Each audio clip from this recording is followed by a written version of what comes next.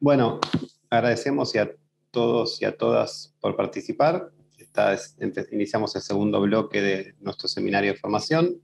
Eh, les recuerdo cuestiones de método generales. Va a haber una exposición, en este caso los expositores somos los mismos coordinadores del seminario, Bryce y yo. Bryce es integrante de Viento Sur, yo soy integrante de Jacobin América Latina, las dos revistas que organizamos este seminario.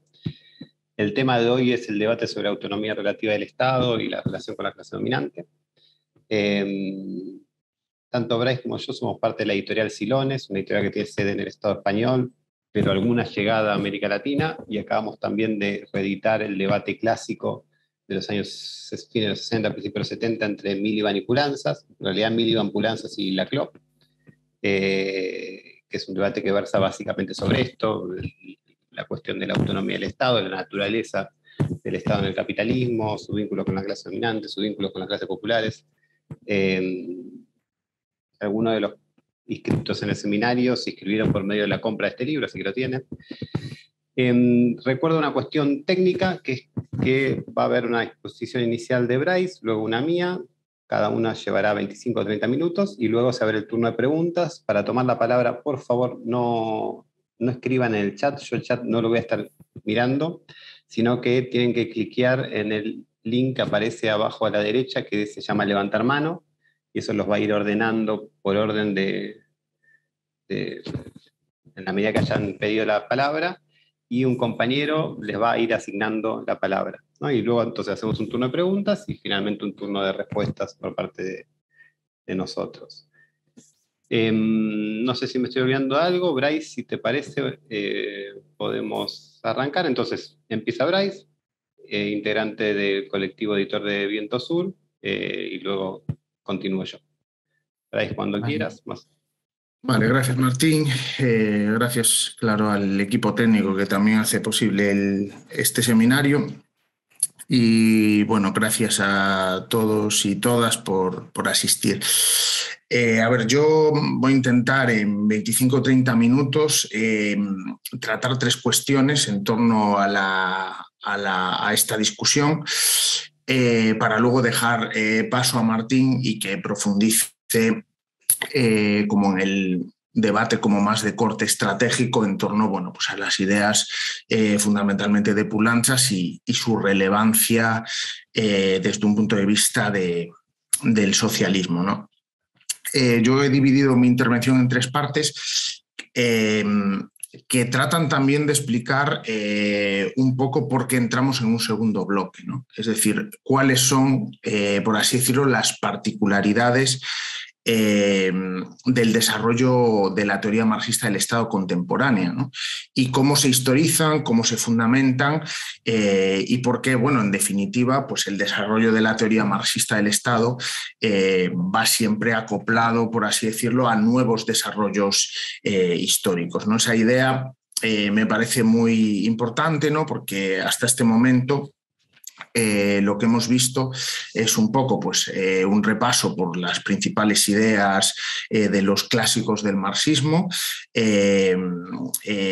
sus conceptos, sus, sus principales aportaciones, pero bueno, de lo que se trata un poco es de historizar el debate, de ver los cambios y las continuidades que hay en el Estado moderno, en el Estado contemporáneo y cómo la teoría marxista se relaciona con eso. ¿no? Entonces, bueno, en el primer, vamos a repasar un poco el primer bloque, algunas nociones clásicas eh, del Estado marxista.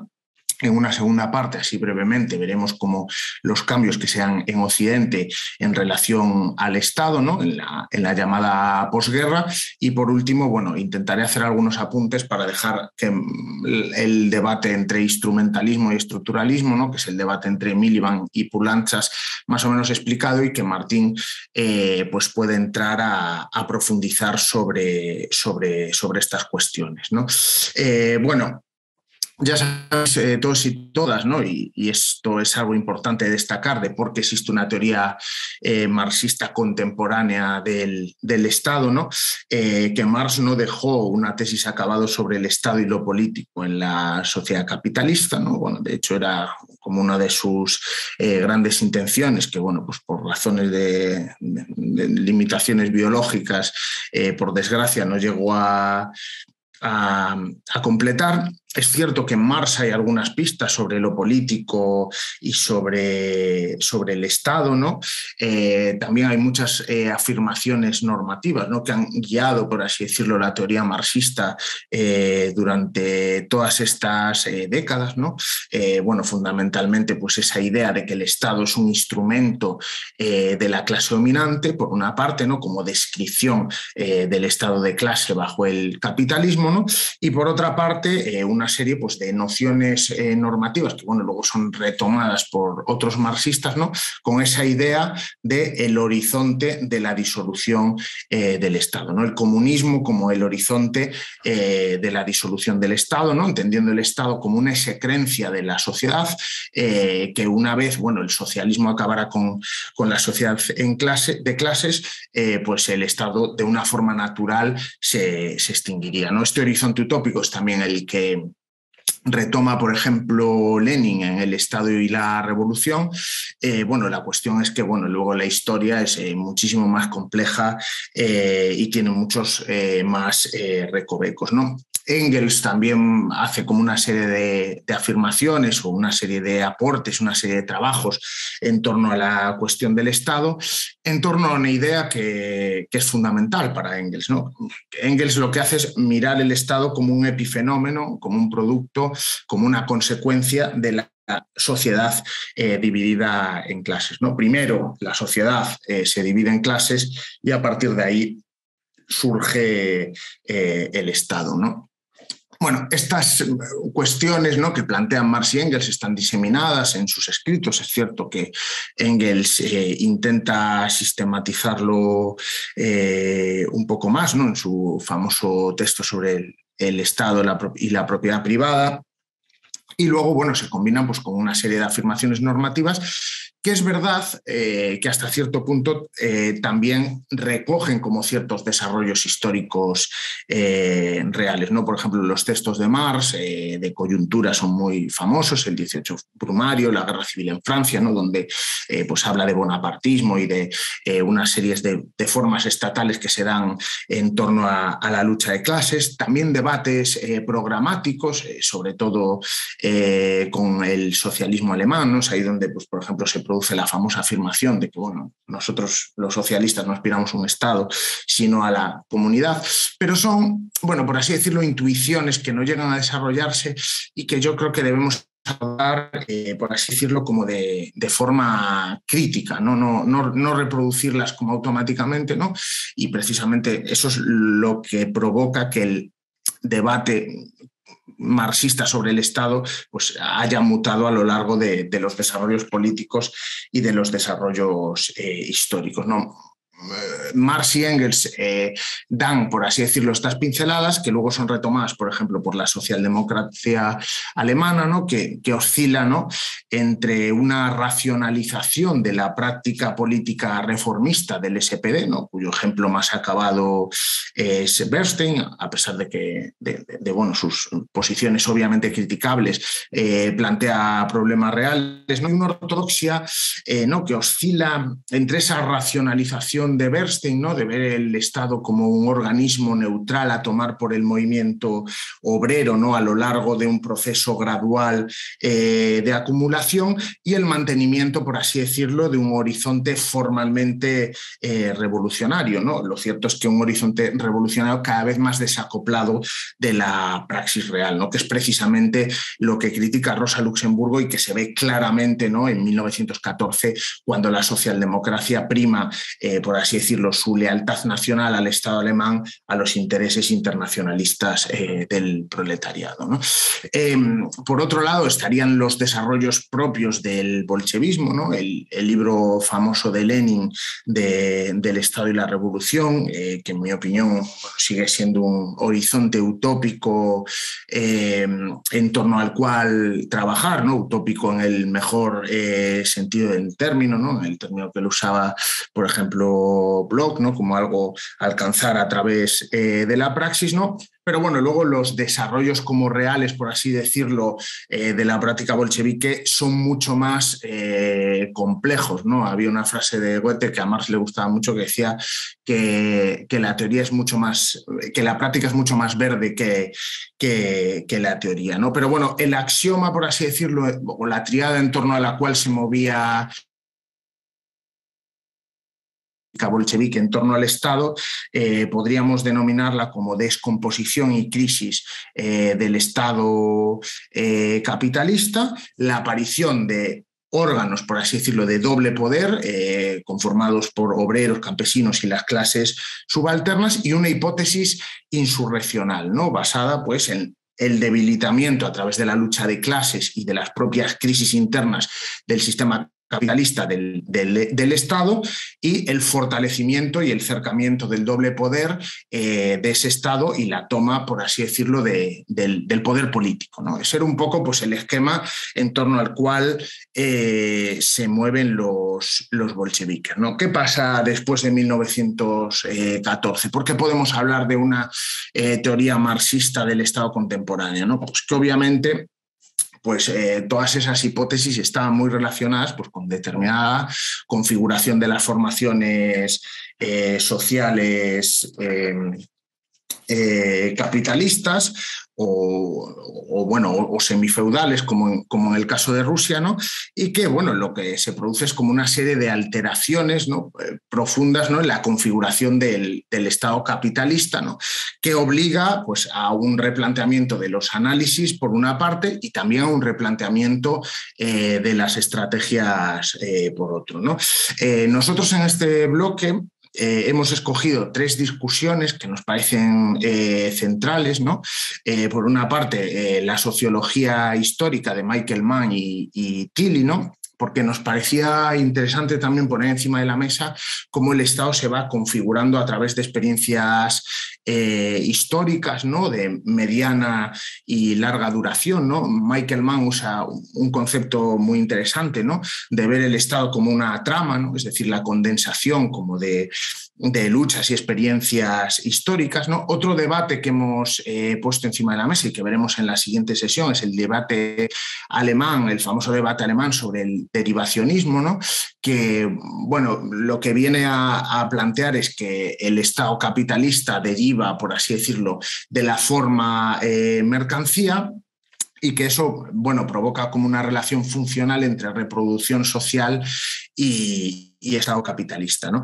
Y luego, por otra parte, eh, la discusión que nosotros hemos escogido para la sesión de hoy, que es el debate sobre la autonomía relativa o la autonomía del Estado y las clases dominantes, ¿no? que es el famoso debate entre Pulanzas eh, y Miliband. ¿no? A mí me parece muy interesante que nos paremos un momento a historizar y a concretar eh, por qué surgen estos desarrollos, cuáles son, eh, por así decirlo, como los problemas concretos a los que se enfrenta la teoría marxista contemporánea después de 1945, eh, después de la posguerra. ¿no? Creo que es importante historizar esto y no analizar el Estado en abstracto, ¿no? sino a través de los desarrollos reales de las formaciones sociales. ¿no? Por una parte, hay algo que tiene más que ver con la propia historia interna del, marxismo, ¿no? con, con, sus propias eh, necesidades teóricas. ¿no? Se trata de completar la misión eh, que Marx eh, dejó incompleta. ¿no? Desarrolló una teoría de lo político y del Estado homóloga al capital. ¿no? Esto aunque parezca curioso, eh, reaparece en función de la lucha de clases, porque durante muchos años lo que Perry Anderson llamó el marxismo occidental eh, obviaba, por así decirlo, el debate estratégico, el debate en torno a la cuestión de lo político y a la cuestión del Estado, ¿no? centrándose, pues, por así decirlo, en desarrollos eh, de carácter como más filosófico, más especulativo o en explorar como teorizaciones de regiones que el marxismo clásico no había desarrollado, como la cultura o, la, o la, literatura. ¿no? Pero al final es la propia lucha de clases la que de alguna manera vuelve a poner el debate eh, del Estado eh, y de la toma del poder político y de cómo está configurado o esa pregunta que luego se planteaba Goran Cebor, cómo eh, domina y cómo gobierna la clase dominante. Y Aquí yo creo que nos encontramos una paradoja ¿no? que se ve claramente eh, después de 1945, ¿no? Em, que es que el Estado asume, por así decirlo, un rol eh, claramente protagónico en la reconfiguración eh, de las sociedades occidentales. ¿no? Y que ese rol protagónico lo asume, por así decirlo, a través eh, del ejercicio de su autonomía estatal. ¿no? Esto yo creo que es una idea eh, que rompe bueno, con, con, cierto simplismo que podemos encontrar eh, en algunas interpretaciones del marxismo, ¿no? que, viene a representar el Estado ¿no? como una especie como de conspiración o de punto de reunión entre las diferentes fracciones de la burguesía que de repente se encuentran y organizan eh, la sociedad. ¿no? Eh, por así decirlo, lo que se ve con claridad después de 1945 es esta idea ¿no? de que la clase dominante domina, pero no gobierna. Y que para dominar no le hace falta estar en el gobierno. Es decir, que hay como una articulación como hegemónica eh, que cristaliza en torno al Estado, donde el Estado por una parte es agencia y por otra parte refleja eh, las luchas de clase que eh, tiene mucho sentido resaltar y estudiar para reactualizar la estrategia socialista. ¿no? Claro, en ese sentido hay una frase de Marx eh, bueno, que he mencionado antes y que vuelvo a mencionar porque es una frase eh, como, eh, por así decirlo, prototípica ¿no? de lo que es cierta concepción marxista. ¿no? El gobierno como consejo de administración de los negocios comunes de la burguesía. Yo creo que esta frase es cierta. Es cierta, pero no en el sentido de que la burguesía se reúne en el gobierno para gobernar, sino que el Estado no puede enfrentarse a esta necesidad eh, de gestionar los negocios comunes eh, sin contar con cierto grado de autonomía. Esa yo creo que es la interpretación eh, correcta de esta frase que puede parecer muy simple, pero que en realidad esconde una carga política profunda. ¿no? Eh, en ese sentido, eh, al reto que se enfrentan los marxistas eh, políticos como Pulanzas y Miliband, ¿no? hablo marxistas políticos ¿no? en el sentido de que se meten a investigar la cuestión del Estado, se meten a investigar la cuestión de, lo político como una región particular de, la sociedad capitalista, es que esos 30 años gloriosos ponen un reto encima de la mesa. Ya no se trata simplemente de pensar al Estado en sus momentos de crisis, ¿no?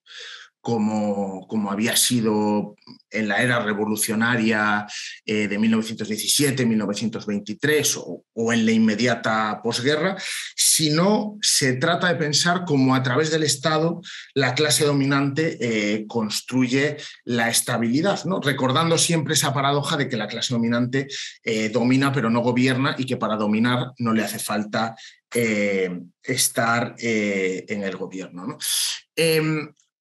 Entonces, aquí el asunto fundamental es que esa, esa hipótesis se ve reflejada en cómo eh, la relación entre Estado y sociedad eh, se articula de una nueva forma que, por ejemplo, eh, Gramsci ya había intuido. ¿no? No sé si lo dijo Máximo, creo que sí, pero bueno, lo repito porque es interesante. ¿no? Gramsci en realidad habla de un Estado integral. ¿no?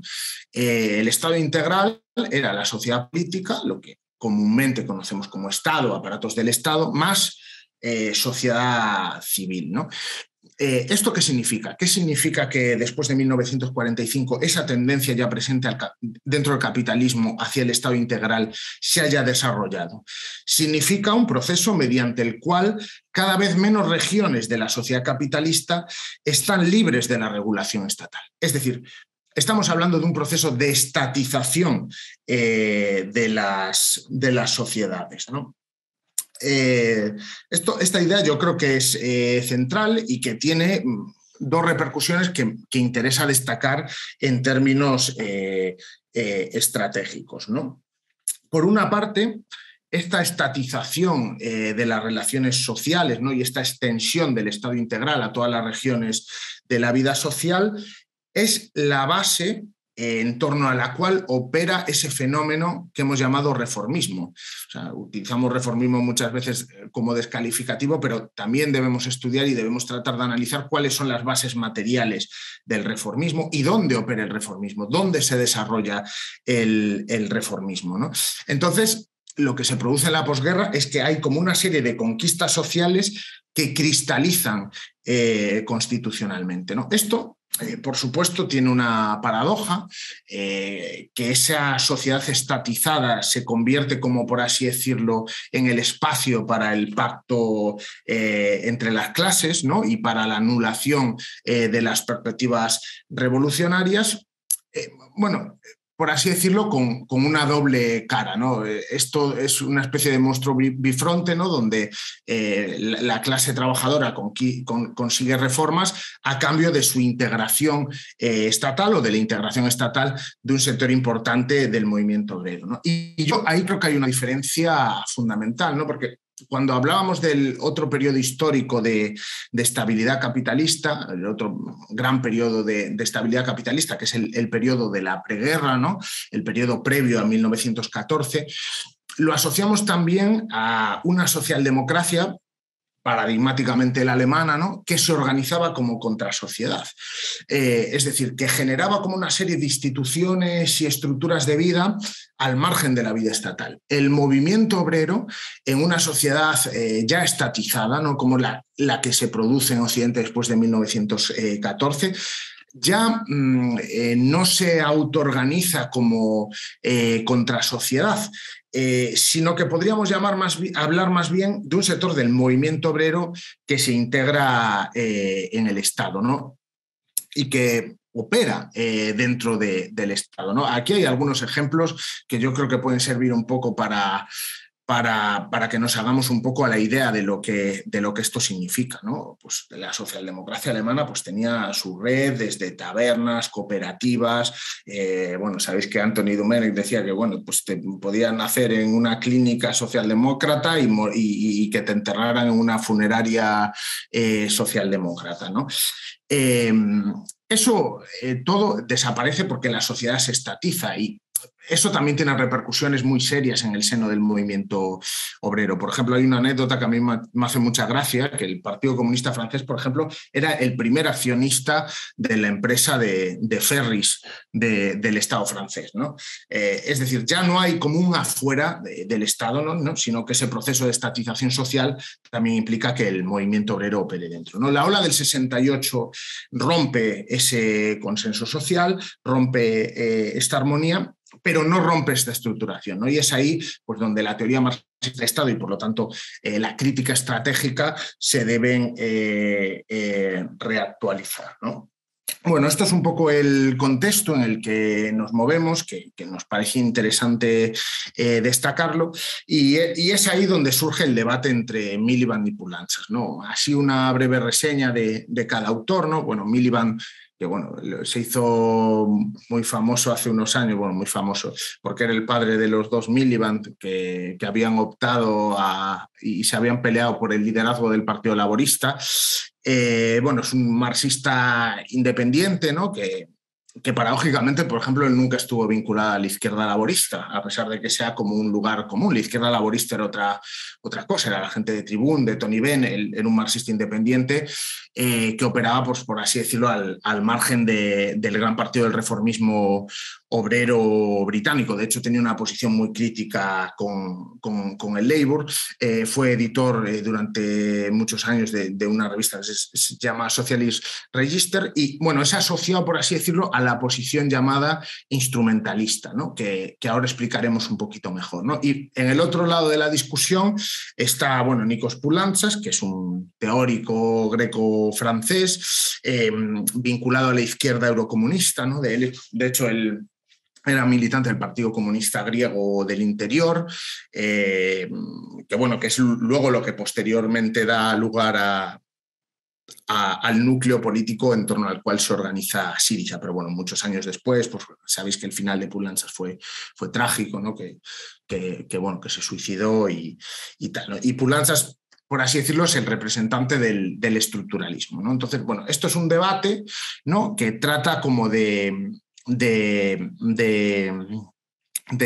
abordar como estas cuestiones del Estado capitalista en las sociedades contemporáneas, ¿no? en torno como a esas dos polaridades. Ya os digo que si leéis la discusión vais a ver que es mucho más compleja de, que lo que voy a describir yo ahora, pero bueno, voy a intentar simplificarlo como al máximo para dejárselo un poco en bandeja Martín y también para intentar como explicar de la forma más sencilla que, sea capaz eh, una discusión que es bastante compleja. ¿no? Bueno, Miliband empieza su reconstrucción de lo político a través de los textos de Marx, pero quizás eh, donde él hace su aportación más original es en el estudio de cómo las clases dominantes eh, se vinculan al Estado.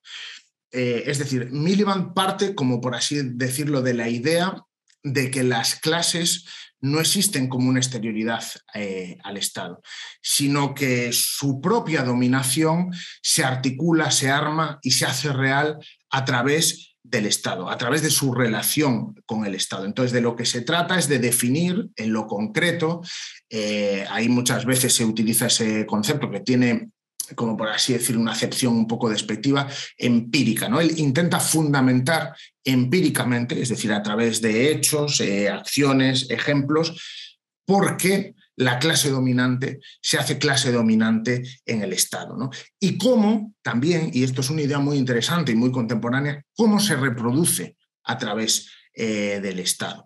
Entonces, bueno, yo creo que esto es una idea como muy potente que nos puede servir, eh, por ejemplo, para abordar estudios e ideas sobre por qué los jueces tienen eh, lazos orgánicos con la burguesía, porque, mm, por así decirlo, eh, ciertos eh, sectores del aparato del Estado no electo, ¿no? lo que Gramsci llamaba parlamentarismo negro, eh, tienen relación con las clases dominantes. Es decir, cómo las clases dominantes reproducen su dominación social y también su eh, composición de clase a través eh, del Estado. ¿no? Eh, Miliband se dota de un fuerte aparato empírico, que, bueno, que es verdad que bueno, tiene mucho que ver con la tradición sociológica británica, pero que tiene una razón fundamental, que es intentar refutar a los llamados pluralistas liberales, que bueno, lo que venían a decir es que el, el Estado es un lugar neutral donde capital y trabajo se encuentran, pero que parten de la misma eh, igualdad eh, de condiciones. ¿no? A través de su trabajo, eh, sobre todo en torno a este libro, que es un libro excelente o muy olvidado, que es El Estado en la sociedad capitalista, intenta como verificar toda, toda esa hipótesis. ¿no? Eh, Pulanzas, por otra parte, asociado históricamente al estructuralismo, bueno, ya sabéis que fue discípulo de, de Althusser, ¿no? el gran del, estructuralismo, eh, rechaza el empirismo. De hecho, lo considera, por así decirlo, una desviación ideológica burguesa. De hecho, emplea en el libro eh, un término similar bastante, bastante severo. ¿no? Entonces, para Pulanzas, de lo que se trata es de eh, clarificar y depurar los conceptos teóricos dentro eh, de un sistema, que es el sistema eh, capitalista. Y a partir de esa depuración conceptual, definir el rol concreto que juega el Estado capitalista eh, dentro del modo de producción capitalista. Entonces, para Pulanzas, por así decirlo, el Estado no sería tanto una agencia que impulse desarrollos sociales, entre otros desarrollos sociales, la formación de las clases, sino un producto de las relaciones de fuerza. ¿no? Por eso, bueno, Pulanzas se ha hecho muy conocido en el mainstream marxista, si esto existe, por la famosa afirmación de el Estado no es una cosa, el Estado es una relación. Bueno, pues eso es lo que viene a intentar eh, plantear eh, Pulanzas. ¿no?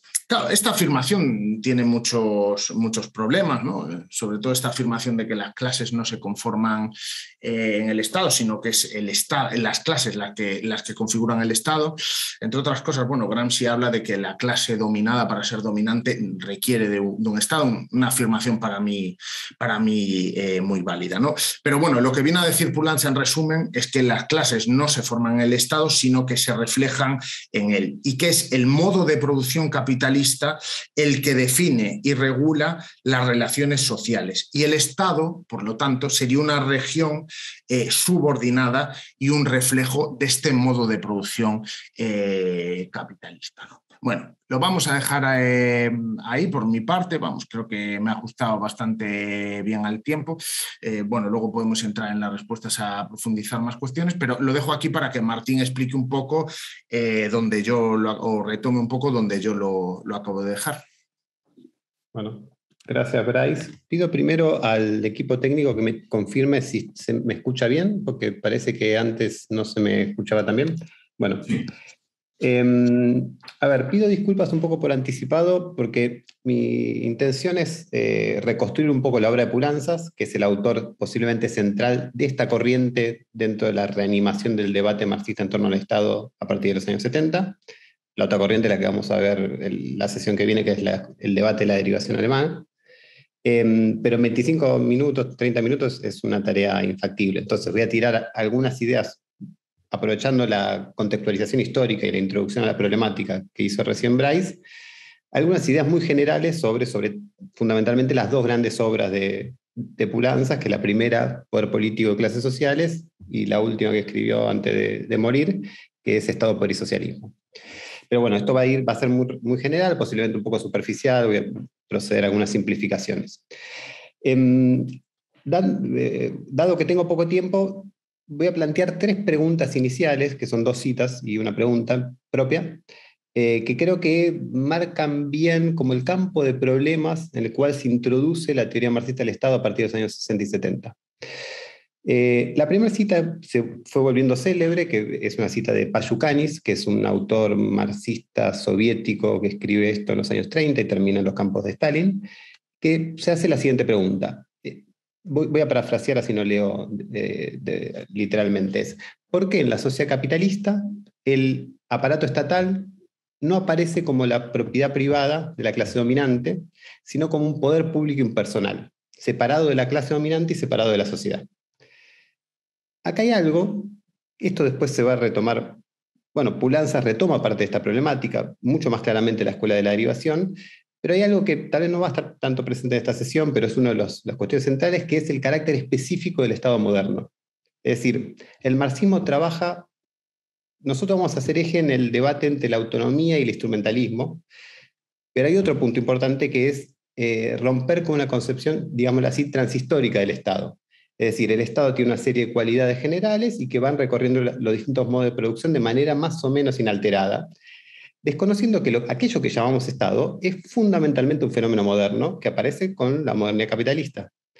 Es decir, lo que llamamos política y lo que llamamos económico no existe previo a la sociedad capitalista como esferas diferenciadas esta frase Payucani está muy bien encaminada respecto a este tipo de problemáticas, que me parece que es uno de los puntos que hay que tomar en cuenta para reconstruir una teoría marxista del Estado. Segunda pregunta. No, todas convergen, o sea, no todas van en la misma dirección, pero eh, refieren a problemas eh, teóricos que están planteados. También voy a parafrasear. Pulanzas en el Estado por socialismo se pregunta algo así como, Si la burguesía hubiese podido constituir su Estado a su imagen y semejanza, de principio a fin, de abajo hacia arriba, lo que hubiese producido es este Estado democrático representativo que vemos que predomina en, los, en las sociedades avanzadas, en las sociedades eh, como régimen político normal de dominio de la burguesía, hubiese sido otro. ¿no? Eh, la, respuesta subyacente que él desarrolla a lo largo de su obra es que en el Estado hay conquistas populares duraderas. O sea que la fisonomía que adquiere el Estado, al menos en su forma democrático representativa, no es meramente como el reflejo, la extensión de la clase dominante, sino hay una, es el producto de procesos históricos donde está también la huella de las luchas populares. Y una tercera pregunta, esta ya es mía, para fines de pensar estas cuestiones, que es si el Estado deja de ser un instrumento, ahora vamos a ir a una definición de, instrumentalismo, porque no es tan obvio que es instrumentalismo, pero en principio es, digamos, si el Estado deja de ser un mero instrumento en, manos de una clase dominante, si es algo más complejo que eso, si es algo que además tiene una cierta autonomía y adquiere la forma de un poder público impersonal, como decía Payucanis, ¿cómo se define el carácter de clase del Estado? O sea, ¿dónde radica el carácter capitalista del Estado? La teoría instrumentalista tenía una respuesta muy clara. Es un instrumento de la clase dominante. Bueno, si ya no es un instrumento, ahora vamos a ver por qué Pulanza piensa que no lo es, por qué la escuela de la revolución piensa que no lo es, porque es que es una teoría hasta cierto punto vieja, la, teoría instrumentalista del Estado. Bueno, ¿dónde queda el carácter de clase? ¿Cómo se define? Diferentes autores van a dar respuestas diferentes a estos distintos problemas. Ahora me meto ya así de forma más directa en Pulanzas. Pulanzas tiene dos motivaciones teóricas. Después tiene muchas motivaciones políticas, que uno si sigue su obra va viendo la huella muy clara de los posicionamientos políticos de Pulanzas, por ejemplo, el eurocomunismo y, y Estado Poder y Socialismo, pero bueno, ese es otro tema. A nivel teórico tiene como dos grandes motivaciones. Una es identificar y resolver el déficit en la teoría marxista de la política o del Estado. Eh, esta es una constatación relativamente transversal en un sector de la teoría marxista y aledaños en los años 70, la idea de que el marxismo había producido, permítame la expresión, una gran teoría económica en el capital, es discutible si el capital es una obra económica o es algo, o es otra cosa, una cosa más amplia, pero permítame la expresión, Tal vez había desarrollado una teoría de la ideología en Althusser, estos autores están influidos por Althusser y por ejemplo eso podía ser, considerarse como un hecho, pero adolecida de una teoría del Estado, o al menos de una teoría del Estado que sea el correlato del análisis desarrollado en el capital. Es decir, no tiene una teoría del Estado tan sistemática y articulada como tiene una teoría del valor, de la mercancía, del capital, etc. Y la segunda motivación de Pulanzas es el debate con la teoría instrumentalista, que es la teoría que viene a llenar ese bache que había dejado Marx, que no había llegado a cumplir eh, en desarrollar una teoría del Estado específica. ¿A qué llamamos teoría, eh, instrumentalista del Estado? Hay que tener cuidado porque se suele hacer referencia a dos cosas que, no solo no son las mismas, sino que a veces son contradictorias. La teoría instrumentalista convencional es posiblemente la que nace en el origen de la propiedad privada, la familia del Estado de Engels, eh, que tiene una continuación en Lenin y el Estado de la Revolución. Literalmente Lenin cita la concepción de Engels, y tiene algún precedente en Marx, algunas frases, por ejemplo la, que citó Bryce, eh, generando una cierta resignificación, pero en general la frase del manifiesto comunista donde dice eh, el Estado es la junta que eh, organiza o gestiona los asuntos, los asuntos comunes de la burguesía, es una teoría que tiene un resabio instrumental, tiende a definir el Estado como un instrumento en manos de las clases dominantes, un instrumento de coerción, de dominación política y sobre todo coerción física. Esa es una teoría una concepción del instrumentalismo. Hay otra concepción del instrumentalismo que en términos del debate marxista es lo que aparece sobre todo en la Segunda Internacional, Bernstein y demás, que es la idea de un instrumento neutro en el sentido de un instrumento que no tiene un carácter de clase a priori, sino que está sometido a presiones diferentes de agentes sociales o clases sociales diferentes, y según quien ocupe, eh, ya sea el personal político, quien logre influenciarlo, puede dirigirse en un sentido u otro. Son dos, dos concepciones diferentes de instrumentalismo. Em, la segunda se parece mucho más a la teoría del Estado convencional, lo que se suele denominar pluralismo, al menos en la ciencia política anglosajona. Me voy a concentrar sobre todo, o sea, el debate va a ser sobre todo con la primera, con la de Lenin y Engels. ¿Qué dice Engels? Voy a tratar de ir rápido para llegar de Engels a Pulanzas.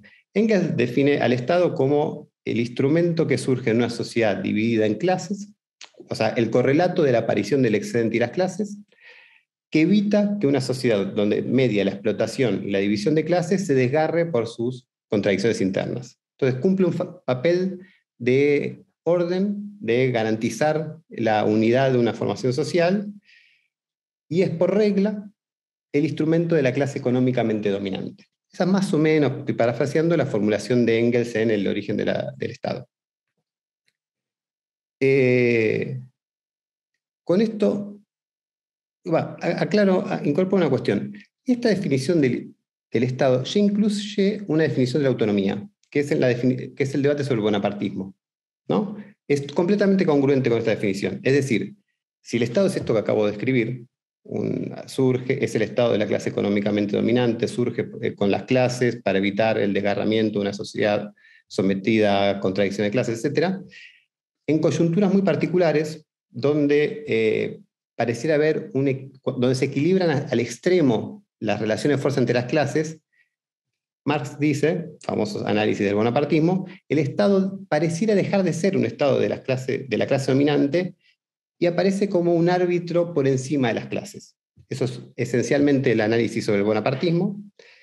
Después para Engels, que lo retoma fuertemente, Engels tiene una frase que es el bonapartismo es la religión de la burguesía moderna. Es decir, el bonapartismo Engels empieza a, advertir que no es algo que se reduce a una coyuntura, es un poco la forma general de dominación de la burguesía, pero sobre todo lo ve en Alemania, en Bismarck, el estado social autoritario que se desarrolla a fines del siglo XIX en Alemania. Bien, ahora sí, Pulanzas. Pulanzas va a debatir con todo esto. Eh, va a considerar que hay un déficit en la teoría marxista del Estado y produce una primera obra muy importante, posiblemente la obra más sistemática y articulada de Pulanzas, que es Poder Político y Clases Sociales. Creo que del 68 o del 69, ahora no tengo frescas las, las fechas.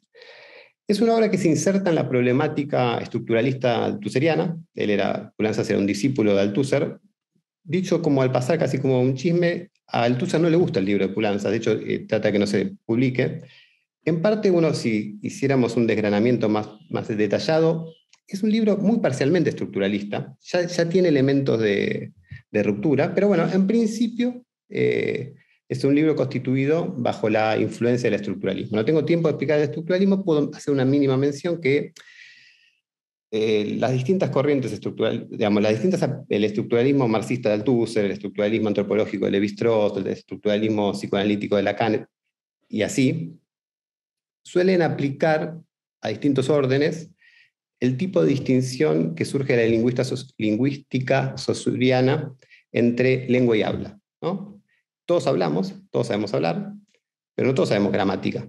Y sin embargo, todos al hablar, es decir, al hecho empírico de hablar, respetamos una estructura subyacente que es la que organiza la relación entre los términos.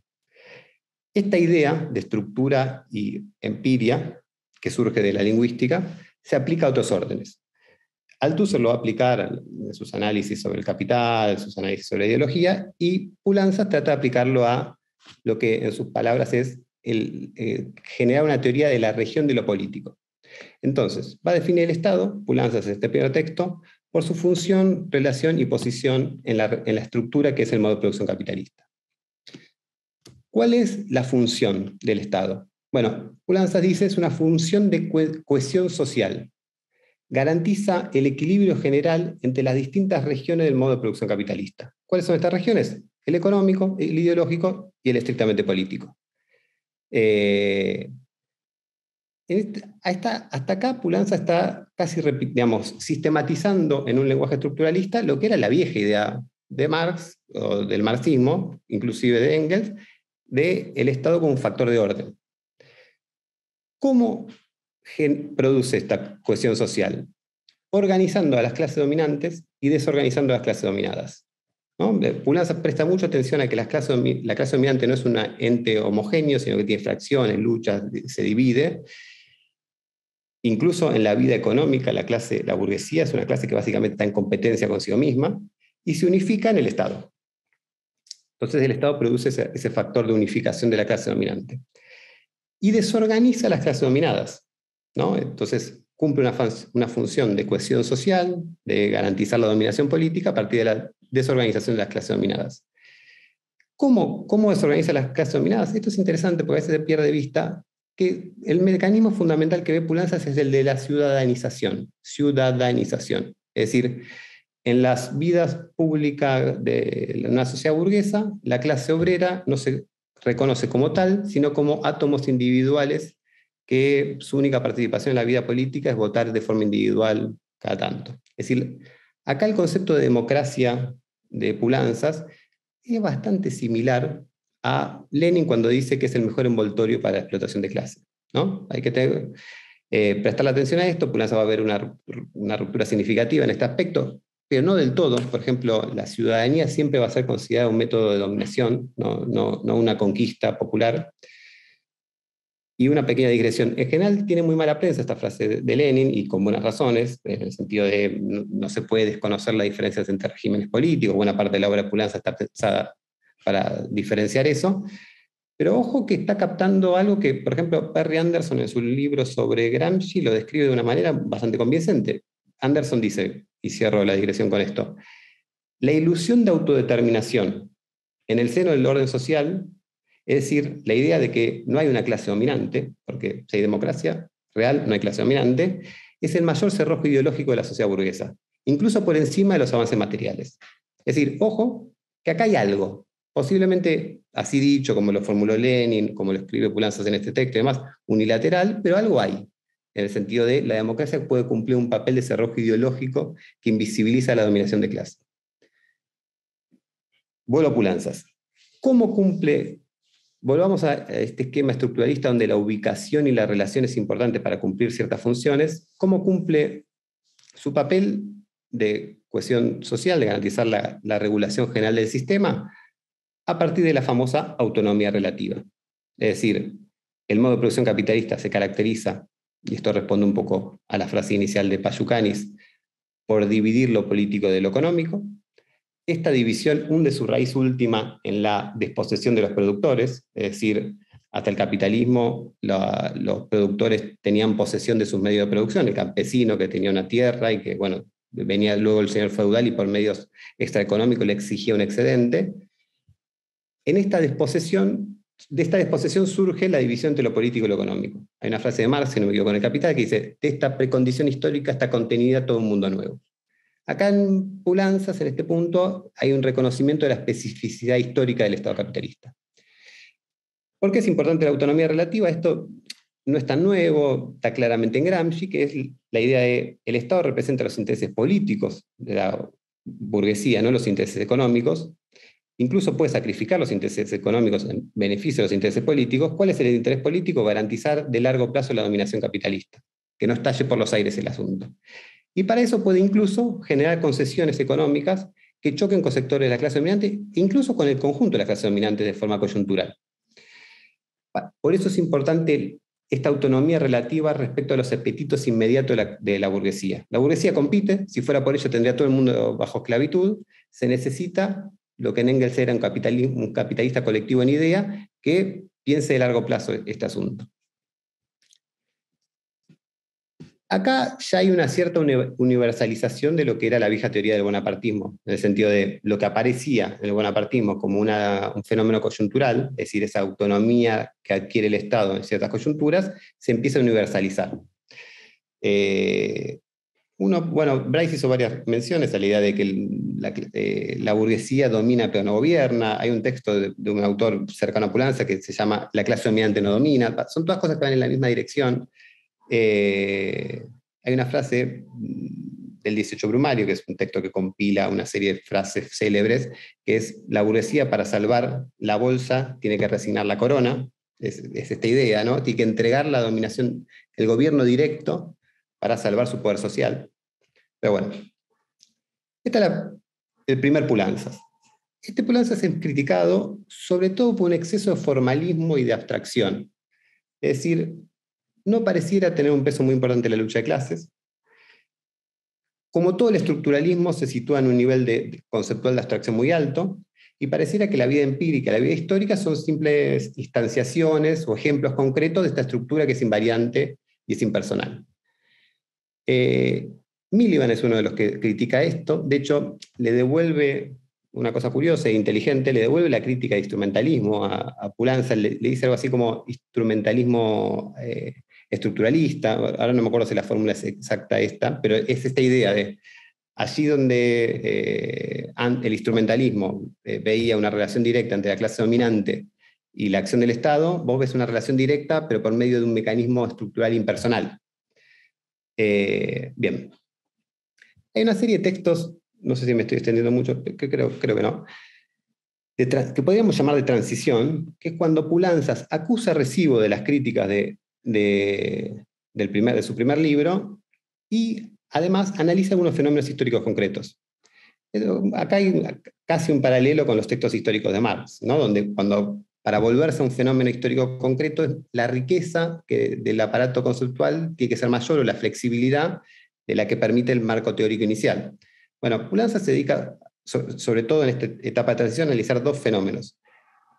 el ascenso, los regímenes que él llama decepción, es decir, el fascismo y el nazismo en los años 30, y la política de la internacional comunista respecto a, al, ascenso del nazismo, y la, crisis de la dictadura en Europa en los años 70. ¿no? Caen las dictaduras de Grecia, donde su país de origen, Portugal y España.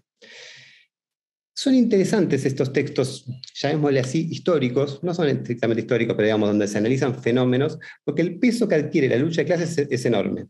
De hecho, por ejemplo, en el texto sobre el ascenso del fascismo, eh, recordemos todo el debate, recordemos la táctica de la Internacional Comunista, del Partido Comunista Alemán frente, a, al ascenso de Hitler, ¿no? que era clase contra clase, considerar que la socialdemocracia era socialfascismo y que después de Hitler era nuestro turno, es una frase más o menos infame de, esa época.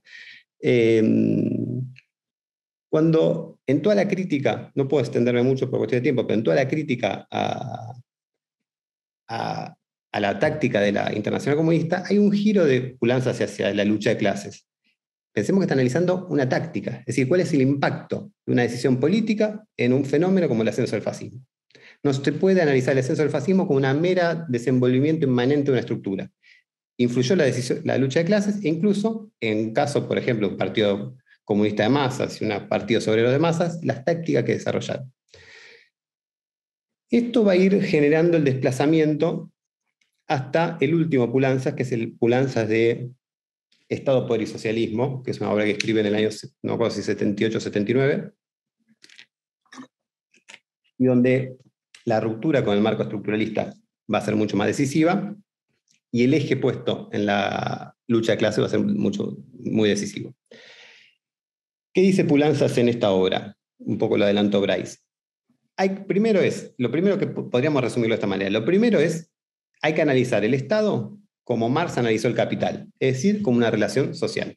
El Estado no es una cosa, en el mismo sentido que el capital para Marx no es una cosa, no es un conjunto de, maquinarias. El, Estado, el capital es una relación. ¿Una relación de qué tipo? Una relación de explotación. Bueno, el Estado también es una relación social. ¿Quién es el autor que está acá un poco siendo eh, como objeto de polémica, pero también una apropiación muy fuerte? Foucault la teoría sobre el poder de Foucault, los análisis sobre el poder de Foucault, eh, la ruptura con una concepción meramente negativa y represiva del poder, bueno, están está muy presentes en este último Pulanzas. Esto es explícito por parte de Pulanzas. Bueno, ¿qué tipo de relación es el Estado? Y acá viene la frase célebre que ya hizo mención Bryce, es el Estado de la condensación material y específica de las relaciones de fuerza entre las clases y fracciones de clases y agrega tal como se expresa en el Estado. Mm, eh, no, son literales, son un poco de memoria las, frases, pero tienen esta, eh, estas vueltas. es una frase que es un poquito más compleja de lo que parece inicialmente. ¿no? Eh, porque el Estado no es un mero reflejo de las relaciones de fuerza. Hay una, toda una serie de pulancianos. Con Pulanza pasa algo parecido a lo que pasaba con Gramsci en los 60, 70 o aún hoy que hay como un Gramsci de derecha, un Gramsci de izquierda, un Gramsci de centro. Bueno, hay un Pulanza de derecha, un Pulanza de centro, un Pulanza de izquierda, según los énfasis que se hagan. Quienes detienen la definición de, Pulanza en, en algo parecido a el Estado es el reflejo de relaciones de fuerza entre las clases, se están deslizando muy cerca de la teoría pluralista o reformista tradicional. El Estado es una arena relativamente neutra, donde las relaciones de fuerza se expresan. Pero Pulanza no dice solo eso. Pulanza dice, eh, se expresan las relaciones de fuerza entre las clases, no solo entre las clases al interior del bloque dominante, sino entre las clases dominantes y las clases dominadas, pero no como un reflejo, no es una arena neutra, sino hay una frase que dice, tiene una resistencia y una opacidad propia, que es lo que en última instancia define su carácter de clase. Acá aparecen como dos explicaciones en general en Pulanzas, y una es la que más se retoma entre los pulancianos, a mí me parece incompleta, respecto a de dónde viene esa opacidad. ¿Por qué tiene un sesgo el Estado? ¿Por qué, sin embargo, tiene un carácter de clase? Bueno, hay dos conceptos, dos cuestiones que menciona Pulanzas. Una es un concepto que toma de Offe, que es selectividad estructural, es decir, el, Estado tiende a, filtrar algunas presiones y a permitir otras. Y en general este concepto tiende a ver, la, digamos, detrás de las correlaciones de fuerza, otras correlaciones de fuerza pero antiguas. Es decir, el Estado es como la sedimentación de luchas sociales y políticas donde hasta ahora ganó la burguesía. Estoy simplificando en extremo, pero eh, esta es una explicación que está en Pulanzas, pero en Pulanzas el carácter de clase del Estado está más definido por otro aspecto, que es que el Estado reproduce la división social del trabajo.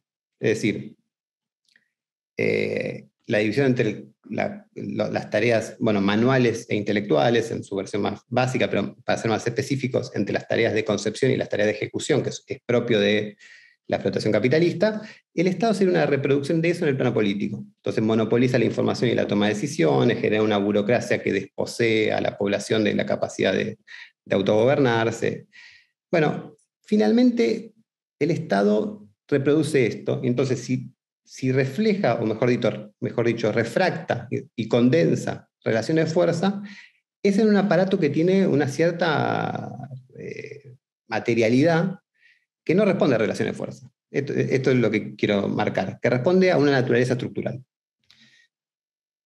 Eh, entonces, voy a tratar de ir cerrando. El Estado no es una cosa, en el sentido no es un instrumento. El Estado tampoco es un sujeto. Cuando Pulanza dice no es un sujeto, está pensando es, eh, no es algo que gobierna la vida económica y social a su, a su discreción, ¿no? Pensemos Habermas, el mismo Offe, una serie de autores que en, el marco del estado de bienestar keynesiano tienden a pensar que el Estado, digamos, que resolvió la tendencia a la crisis, por ejemplo, que tiene otros problemas, pero eh, logra gobernar los desequilibrios que habría generado, que hasta ese entonces había generado el, modo de producción capitalista. No es ni un sujeto, ni es una, un instrumento, es una relación social que tiene estas características gran conclusión de, o una de las grandes conclusiones de esta concepción, es que las clases populares tienen presencia en el Estado. Tienen presencia en sus luchas, ¿no? por medio de conquistas, por medio de la, fisonomía institucional del Estado. Eh, Pulanza se va a acercar a la idea de que buena parte de las instituciones de la democracia representativa son conquistas populares y no concesiones burguesas. Uno puede remontarse, por ejemplo, a la lucha del cartismo por el sufragio universal y cosas por el estilo. Pero, insisto, no se trata de que el Estado, de que las clases populares dominen un sector del Estado, como si dijéramos, bueno, el gobierno ejecutivo, eh, si ganó la izquierda, es de las clases populares, el poder judicial y el poder, militar es de las clases dominantes. Pulanza nunca dice eso, que es otra eh, reserva inteligente. Incluso si ganara la izquierda electoralmente y hubiera un gobierno de izquierda, no conquista el Estado, sino que como ocupa posiciones como quien, como focos de resistencia al interior del Estado. Otra conclusión de esto es que las instituciones de lo que llamamos democracia representativa no hay que suprimirlas en beneficio de una democracia directa de masas, sino que hay que combinarlas. La, propuesta de Pulanzas es una cierta democracia mixta entre democracia de base, democracia directa y las instituciones que provienen de la democracia representativa, el sufragio universal, la asamblea legislativa, el multipartidismo, etc. Como lo hemos visto en el seminario, lo retomo, para justificar eso retoma la crítica de Luxemburgo a los bolcheviques en el 18, donde 17-18, cuando, cuando la Asamblea Constituyente, Rosa Luxemburgo, lo que les dice a los bolcheviques, lo, que dice Pulanza es, muy interesante, porque Luxemburgo está conocida como ser una, reivindica la espontaneidad, el consejismo. Ahora, la crítica a los bolcheviques no es eh, reprimir la democracia directa, no es la crítica de 1905 a, Lenin, al, al quehacer, etc. Es apoyarse exclusivamente en la democracia directa. Porque cuando se eh, suprime la Asamblea Constituyente, en lo que, a lo, que reivindican los bolcheviques es las autoridades de los soviets, como modelo único de transición al socialismo, de democracia socialista. Rosa le dice, está muy bien, anular esa, esa Asamblea Legislativa Constituyente que se representaba relaciones de fuerza previas a la revolución, pero habría que constituir otras, porque cuando se anula la vida política, incluso la vida política en torno a este tipo de libertades formales, democráticas, provenientes de la, de la democracia que consideramos inicialmente burguesa, tiende a anularse el conjunto de la vida política, tiende a desmovilizarse y pasivizarse las masas, y, la famosa frase, lo que queda como único principio activo es la burocracia. ¿no? Entonces, pensando en, eh, con fantasías líricas en torno a democracia directa de masa que exigen participación directa de las masas, cuando eso entra en reflujo, lo que te queda es el partido o el secretario general. Es como si Rosa en palabras eh, interpretada por Pulanzas, estuviera diciendo eso. Acá hay un tema que no es solo estratégico, no es solo de Estado, sino de balance del estalinismo también. Con esto cierro. Eh, eh, Pulanzas con todo este análisis está pensando que formula un enfoque estratégico que es alternativo tanto al leninismo como a la socialdemocracia. Fundamentalmente se concentra en la delimitación con el leninismo, no dice estalinismo, dice leninismo, porque ¿cuál es la estrategia del, leninismo entendida por Pulanzas? Es partir de una concepción del Estado instrumentalista, exterior a las clases populares, una banda de hombres armados, para utilizar fórmulas que, eran comunes en esa época. Eh, por lo tanto, si existe esa, exterioridad, lo que tiene que hacer la clase obrera es constituir su propio contraestado, los soviets, y centralizarlos, y por medio de un partido de vanguardia que dirige a, esos órganos de poder popular centralizados, destruir todo el Estado, inclusive las, instituciones representativas del Estado capitalista. La estrategia de Pulanzas eh, hace una estrategia dual. Si, si para Pulanzas las clases populares tienen presencia en el Estado, de forma refractada, de presencia al fin, el Estado se convierte en lo que él denomina un campo estratégico de disputa. Entonces propone una estrategia doble. Por un lado, al interior del Estado, no solo en el sentido convencional, es decir, lucha parlamentaria, lucha electoral o al interior de las instituciones físicas, sino al interior del campo estratégico que constituye el Estado. Podríamos decir, tal vez en términos gramscianos, en los sindicatos, en la escuela, en todas aquellas instituciones del Estado en sentido amplio, en sentido integral. Pero también, muy claramente, dice Pulanzas, una segunda estrategia o un segundo aspecto de la estrategia vinculado al desarrollo de democracia de base, él dice un enjambre de focos autogestionarios. Entonces, con esas dos patas, empujar lo que él denomina una vía democrática al socialismo, que va a requerir una transformación radical del Estado y rupturas. ¿No? Estas cosas suelen a veces en los pulancianos olvidarse un poco, ¿no? el, énfasis de Pulanzas en la necesidad de una ruptura revolucionaria. Eh, pero bueno, Pulanzas tiene en la cabeza una cosa muy concreta, que es el programa común entre el Partido Comunista y el Partido Socialista, que surge en los años 70 y que finalmente va a concluir con Mitterrand en el eh, ascendido de gobierno en el 81, si no me equivoco. Eh, un programa bastante radical, si comparamos con cualquier programa de la izquierda reformista de izquierda, comparado con el primer programa de Podemos, con el primer programa de Siriza, estaba a la izquierda.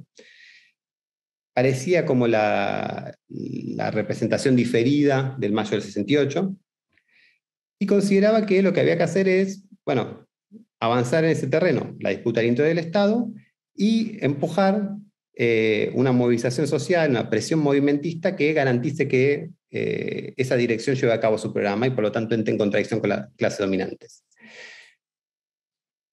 Para cerrar, esta estrategia es parte, central del debate político contemporáneo, actual tiene muchos referentes eh, muy claros. En América Latina, Álvaro García Linera explica así la estrategia del más boliviano y, la, gestión política del, Estado boliviano. Posiblemente haya sido, posiblemente no, eh, los intelectuales oficiales de Siriza sí entendieron su estrategia. Eh, de hecho, como decía Bryce, el, Siriza hasta cierto punto, su componente predominante era el viejo Partido Comunista del Interior, en el que militó Pulanzas. Así se podría entender hasta cierto punto la, la experiencia de la Unidad Popular Chilena, es decir, esto también lo dejo para las preguntas si hay interés, buena parte de los procesos de radicalización política actual, o mejor dicho, todos adquieren parte de los contornos de, que, describe Pulanzas. Una disputa al interior y, por fuera del Estado, movilizaciones sociales de amplitud que no llevan a la irrupción volcánica de soviets de obreros y soldados, sino que tiene su traducción política en un gobierno de izquierda. Pero la otra parte del asunto es, en general, estas experiencias no, tenemos, por el momento una vía exitosa, eh, un, caso exitoso de vía democrática del socialismo, para simplificar. Bueno, me parece que esto describe parte de los dilemas políticos en los que estamos y lo que sería interesante eh, profundizar. Bueno, termino acá. Un compañero ahora va a dar la palabra para las preguntas y tal.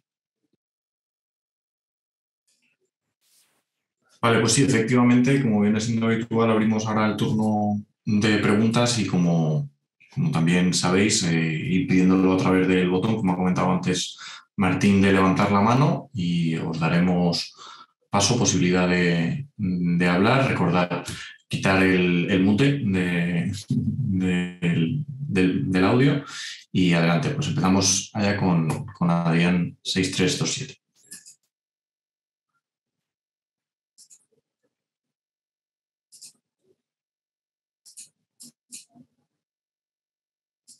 Hola, Adrián.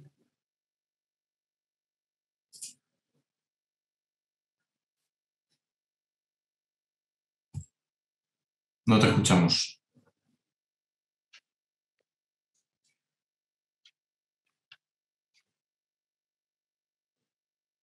Vale, lo probamos. Luego vamos a, con el siguiente, P 552000.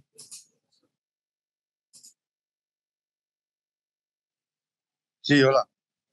Hola. ¿Me escucháis? Bien. Sí. Bueno, nada, eh, celebro las charlas. Eh, es un tema, es un tema arduo, ¿eh? inevitablemente muy teórico, pero yo creo que es bastante útil, ¿no? bueno, yo no, en fin, se podría mencionar muchos más autores. Habéis mencionado a Ralph Billiman, que contrastó pues, las posturas con, con, con Lanzas y con Ay, no sé, es que ahora me pierdo un poco. Pero yo iba más o menos, eh, iba a una cosa que me he recordado escuchándose, es, en alguna parte leí, he leído, pero no recuerdo ahora en qué autor ni en qué libro, que en realidad Marx el, tenía previsto un tomo cuarto del Capital en que iba a, abordar el tema del Estado. ¿no? pero no soy capaz de recordar más. No sé si a vosotros os suena de algo lo que estoy diciendo. Lo que pasa es que, claro, no vivió lo suficiente y además sus últimos años de vida, pues ya no, no podía rendir como, como anteriormente, ¿no? Y quizá, bueno, sí, escribió lo de la comuna, escribió, en fin, algún textos políticos, como habéis mencionado, el 18 Brumario, pero claro, han quedado como textos sueltos, no hilvanados, que en principio él tenía previsto eh, abordar en, supuesto cuarto tomo. No sé, era simplemente si vosotros tenéis, podéis completar algo más ese, detalle. Gracias.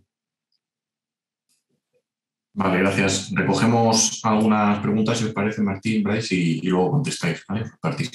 Vale, pues vamos a probar de nuevo, a ver si con Adrián 6327 eh, podemos...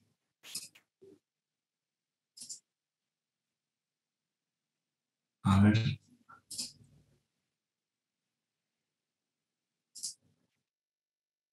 quita el, el mute abajo en desactivar o en activar audio, mejor dicho.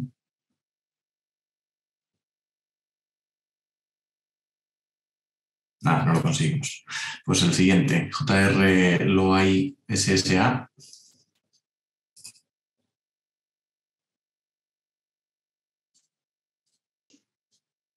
¿Me oís? Sí. Vale.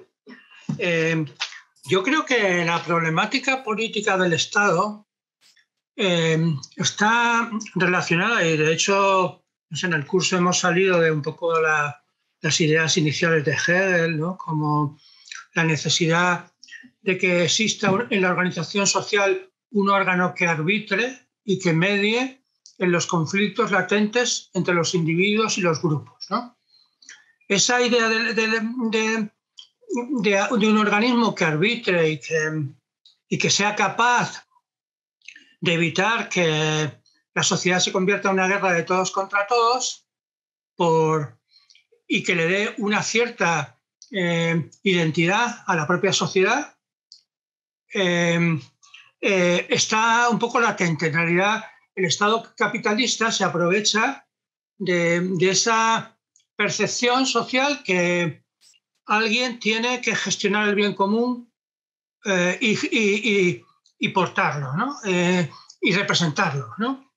Y, de esa manera nos, obliga a, en cualquier respuesta ante el Estado, tener en cuenta que organizar la sociedad eh, cuando la decisión conjunta y el debate directo y el consenso basado en una, en una interacción y un conocimiento mutuo no es posible por la dimensión de las sociedades humanas después del Paleolítico o de los principios del Neolítico, o, bueno, más bien del mediado del Neolítico. Entonces, eh, el problema que tenemos es cualquier propuesta de, eh, relacionada con el Estado tiene que ver con una, una propuesta más amplia de cómo organizar la sociedad y sobre todo cómo organizar una sociedad cuando las decisiones que se toman afectan a un, a un conjunto de, individuos tan, tan grande, sin posibilidad de, de interacción e intercambio directo, y con una identidad común construida a base de, de ideario. Quiere decir, construida a base de símbolos. En realidad, cuando las tribus de primates que se conocen los 150 miembros, cuando llegan a más de 150, se separan en dos tribus, porque ya no hay posibilidad de conocimiento directo. Para que los, los hombres tengan una sensación de identidad común, de sociedad, tienes que dar un ideario. Ideario puede ser la religión, eh, puede ser la nación, todo lo nacional, lo grupal, eh, pero todos esos vínculos simbólicos llevan intrínsecamente la cuestión de generar diferencias entre grupos.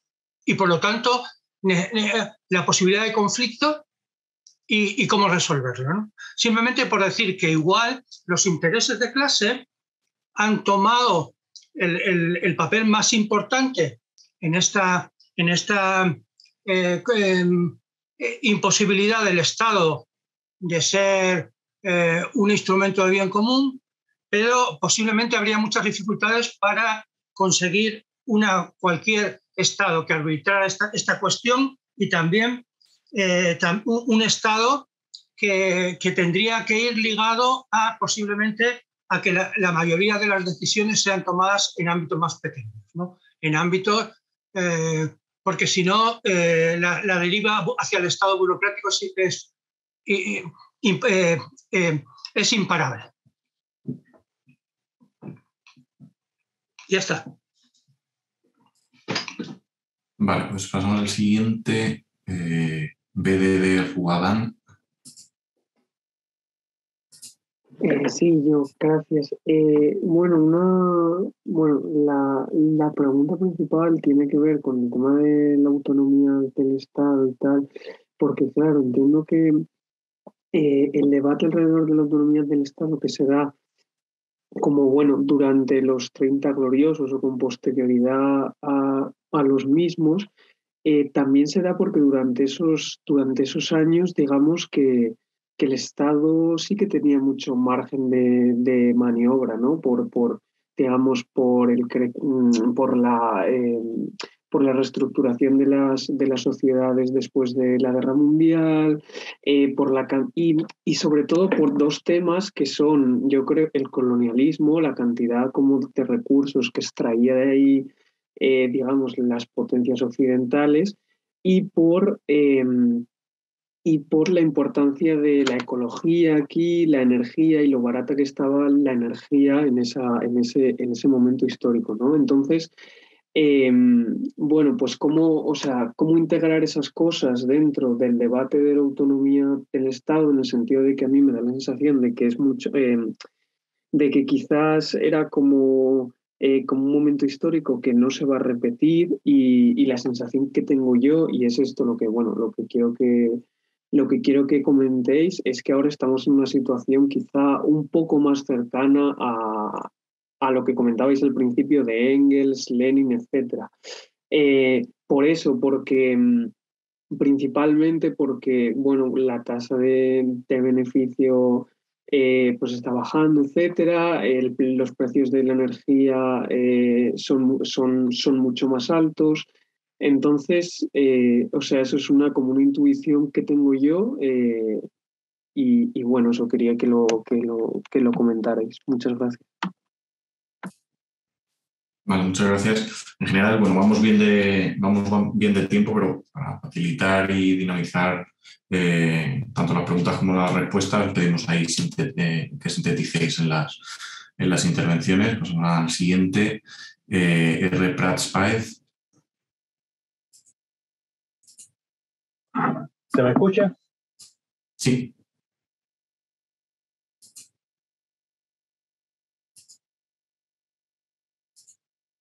A ver, perdón, que creo que te he quitado sin querer el permiso para hablar. Ahora, a ver. ¿Se me escucha? Ahora sí, adelante. Seré muy breve. Una pregunta para Bryce. En algún momento él mencionó a mayo del 68 como un ejemplo de cómo, digamos, se perturba, no recuerdo ahora exactamente la palabra que utilizó, se rompe la armonía eh, del Estado, pero no la estructura del Estado integral. En ese momento Bryce estaba hablando de esta teoría cristiana del Estado integral. Mi pregunta es muy sencilla. Eh, ¿Estamos todavía en ese efecto de mayo del 68? Es decir, el Estado es un estado de, armonía rota, eh, pero al mismo tiempo su estructura permanece intacta. Eh, y la otra pregunta es, para salir un poco de la teoría, para Martín, quien, como todos sabemos, recientemente entrevistó para Jacobin a García Linera. Me gustaría que Martín, que conoce bien el tema, abundara un poco del caso, en el caso de Bolivia como ejemplo práctico de la aplicación práctica, perdón la redundancia, de esta, de esta aproximación de Pulanzas a, a la lucha de clases en relación con el Estado, esta estrategia doble de ocupación de una región del Estado y al mismo tiempo presión social para ir más allá. Eh, Martín en un momento determinado dijo que ganar unas elecciones es solo ocupar una región del Estado, no es realmente tomar el poder del Estado. Me gustaría que, que Martín abundara más, eh, eh en el ejemplo de Bolivia, que sigue siendo válido eh, y muy interesante porque hubo un golpe de Estado y, y sin embargo el MAS está de nuevo contra todo pronóstico, por lo menos contra mí, está de nuevo en el poder. Gracias a los dos. Vale, gracias. Y Martín, no sé si queréis responder ya o tiramos con las dos que quedan. Tiramos adelante, ¿no? Y quedan dos. Sigamos con las dos preguntas y después hacemos una ronda de respuestas. Perfecto, pues vamos allá con 330114. Hola. Hola, ¿se escucha? Correcto, sí. Bueno, en principio, muchísimas gracias. Este, creo que ha sido muy, eh, muy útil toda la jornada y este curso en particular.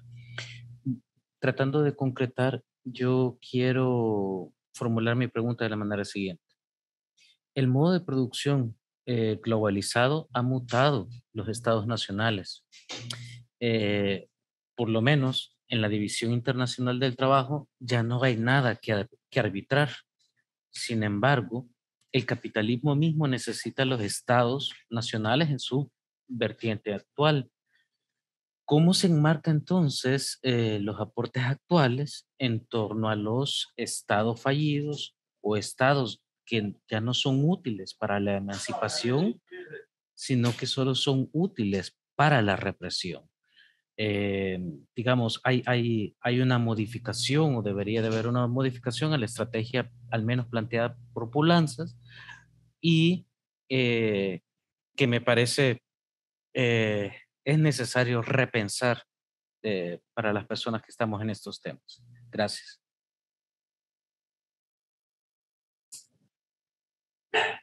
Vale, muchas gracias. Pasamos con el siguiente, a Juan Katz. Hola, ¿se me escucha? Sí. Ya bueno, muchas gracias a los compañeros por la exposición. Eh, yo aprovecho el comentario que hizo Martín en su exposición respecto a hablar de esta cuestión de la constituyente, que igual estaba en los textos, que es como una correlación de fuerza que igual se refleja en un nuevo entramado en el Estado, ¿no? Las razones, porque aquí en Bolivia tuvimos un proceso constituyente que si bien la correlación de fuerzas de los grupos populares, las clases trabajadoras era superior, aún así el Estado que derivó eh, se asemejó mucho más a un Estado eh, liberal, vamos a decir, con una, una impronta, vamos a decir, de extender derechos a poblaciones antes discriminadas, pero no se reflejó, vamos a decir, en una transformación tan profunda quizás como la que se avisoraba durante las movilizaciones del 2003, del 2000 en nuestro país. Y esto lo pregunto también con miras a lo que está sucediendo en Chile, que también está esta constituyente, que parece tener una, su correlación de fuerzas avisora un cambio más trascendentales, pero bueno, habría que pensar si es que va a suceder lo que pasó en, en nuestros países, en los cuales justamente en referencia a lo que ustedes hablaron, de que si bien el Estado se vuelve una correlación de fuerza, innegablemente, al final del día se impone quizás una tradición en favor del capital que, que no se puede romper. A pesar que nosotros pensamos en la, en la correlación de fuerzas, se impone esa sustancia histórica, por así decirlo, del Estado. ¿no? Entonces, eso, preguntar sobre el tema de la constituyente y esta relación con la correlación de fuerzas. Muchas gracias. Muy bien, pues vamos allá con la última palabra, José F. Martínez G.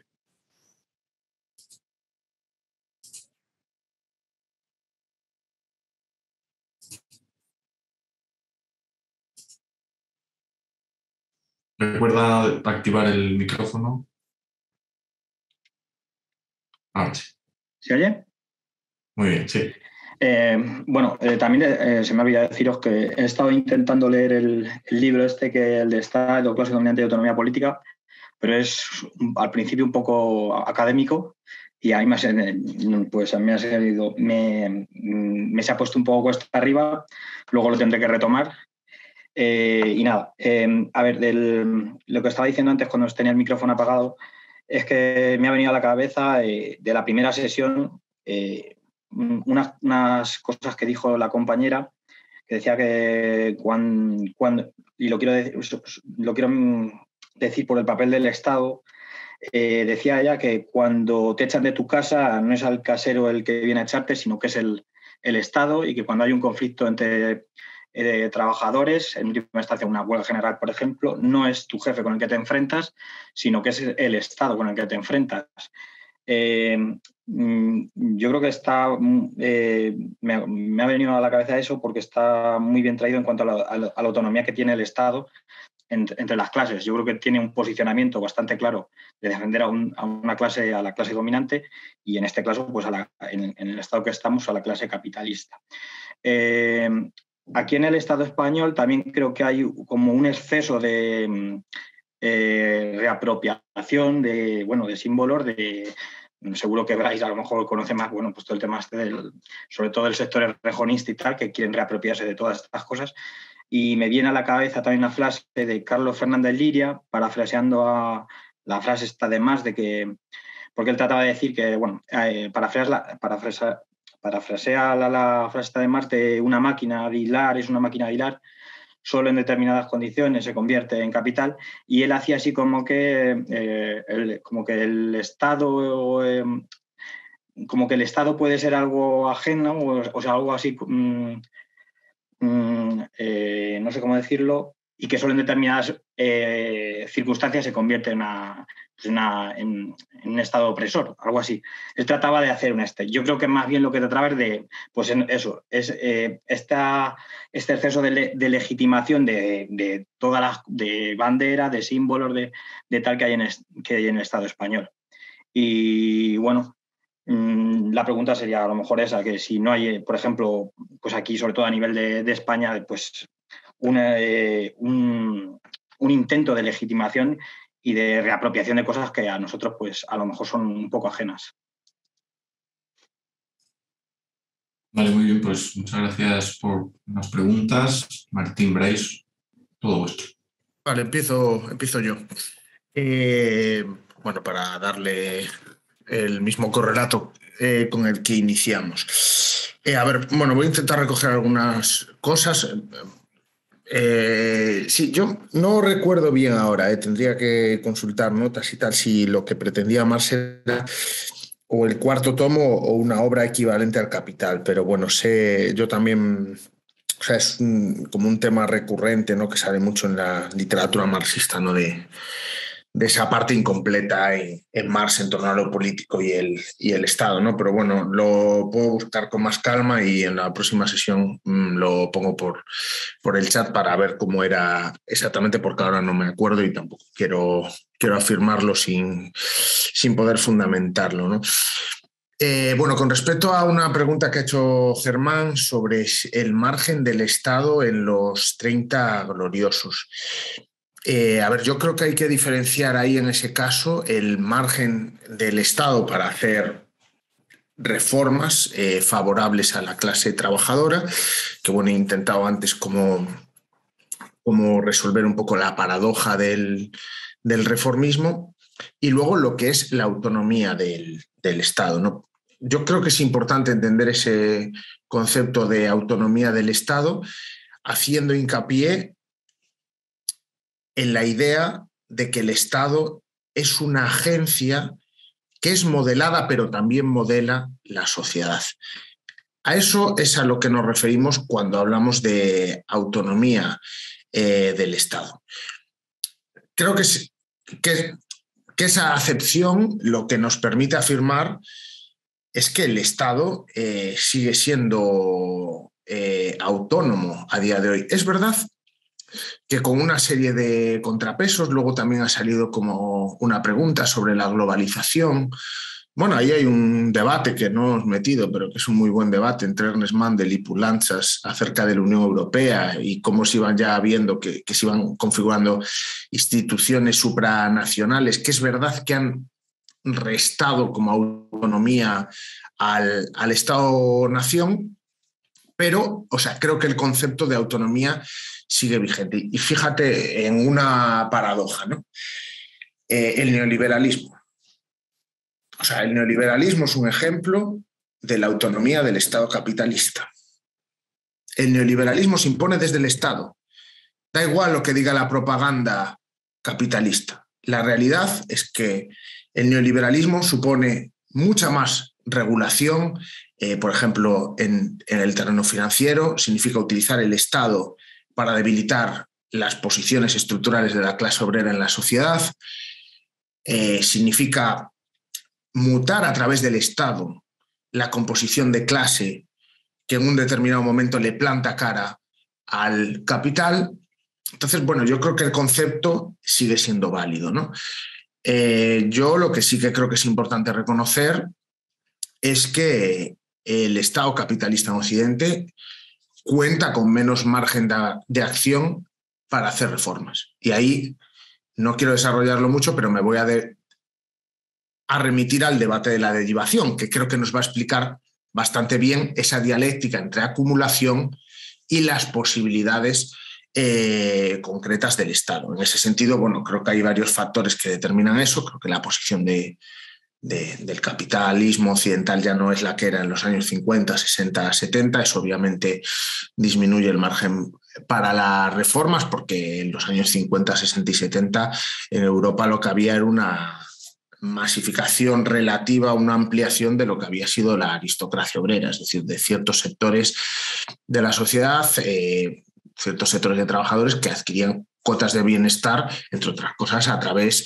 eh, del expolio colonial indirecto ¿no? que, los estados eh, capitalistas occidentales ejercían. ¿no? Y tampoco el mundo estaba eh, pues completamente, por así decirlo, ¿no? que es una tendencia que ha visto Rosa Luxemburgo en su momento, sub, subsumido en el capital, ¿no? ese paso que Marx habla de la subsunción formal a la subsunción real, que yo creo que es un paso que da lugar el neoliberalismo y, y, la caída del mundo. ¿no? Pero creo que es importante quedarse con esa idea del papel del Estado capitalista como también modelador de las relaciones sociales y creo que el neoliberalismo, bueno, cuyo previo antecesor es el ordoliberalismo, la escuela eh, política llamada ordoliberal, es un buen ejemplo de ello. sobre mayo del 68 se rompe la armonía, no la estructura.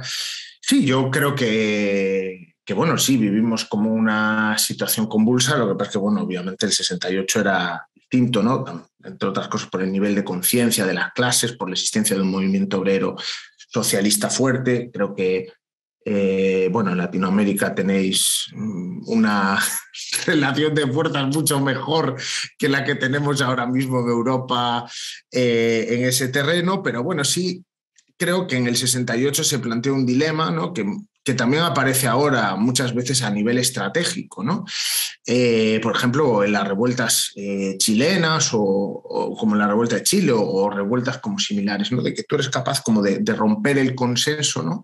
En, el cual eh, te encorseta como el, Estado, ¿no? por así decirlo, pero luego no, no somos capaces como de romper ¿no? con, la máquina estatal. ¿no? Y yo creo que ahí bueno, se trataría como de retomar ciertos debates y de intentar reactualizar eh, la estrategia. Y en, ese sentido enlazo un poco con lo último que decía José, ya eh, me callo. ¿no? Yo creo que hay una visión peligrosa, una lectura peligrosa de, de, Gramsci, que creo que no es lo que dice Gramsci, pero fundamentalmente una lectura ¿no? que fomenta eh, ciertos sectores del Partido Comunista Italiano, ¿no? que son la derecha del eurocomunismo, al contrario que Pulanzas, que es la izquierda del eurocomunismo, que es confundir la autonomía del Estado con su neutralidad. O sea, mucho ojo con esto.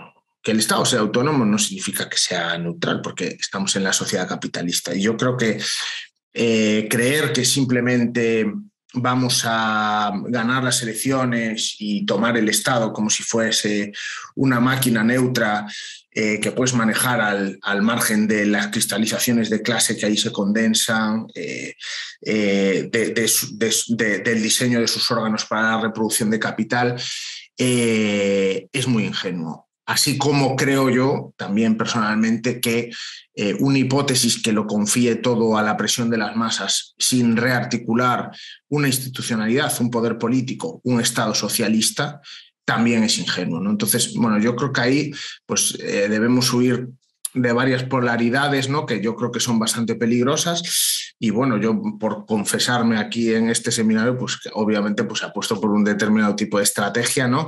Eh, que ponga encima de la mesa la ruptura con determinados órganos estatales que obviamente sirven para la coerción y la reproducción capitalista, pero que a la vez creo que las clases trabajadoras, las clases subalternas deben configurar, deben tomar el poder político, deben tomar el Estado para iniciar eh, transformaciones también institucionales, ¿no?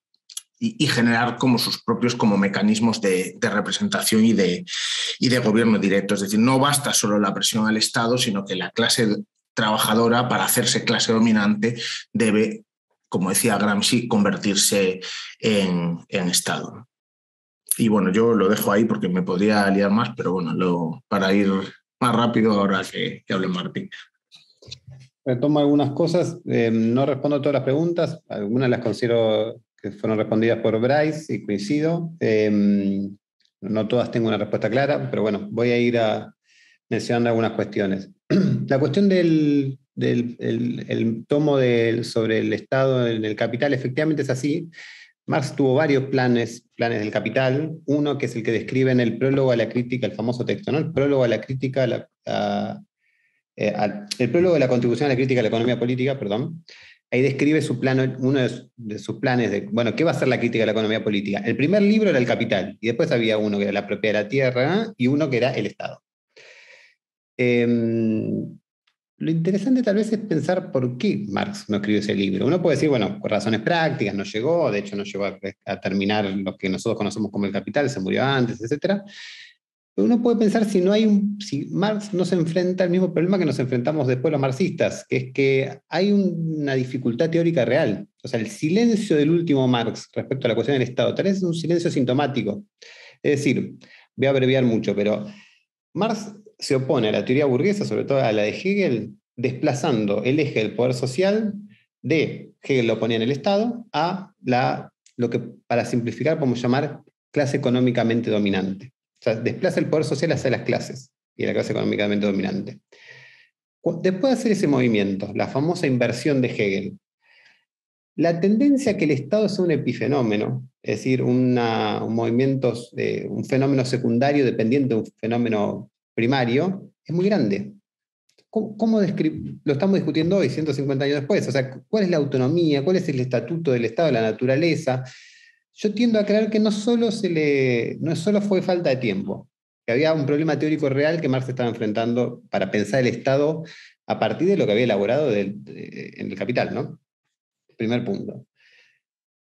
Eh, me parece muy importante lo que dijo Bryce, lo voy a retomar un poco, que autonomía no es solo concesiones a las clases eh, populares. O sea, no es solo tomar distancia, esto es una, clarificación importante, tomar distancia de los apetitos inmediatos de la clase burguesa para darle concesiones a las clases populares de forma de garantizar los intereses de largo plazo, sino a veces funciona como una máquina de guerra contra las clases populares.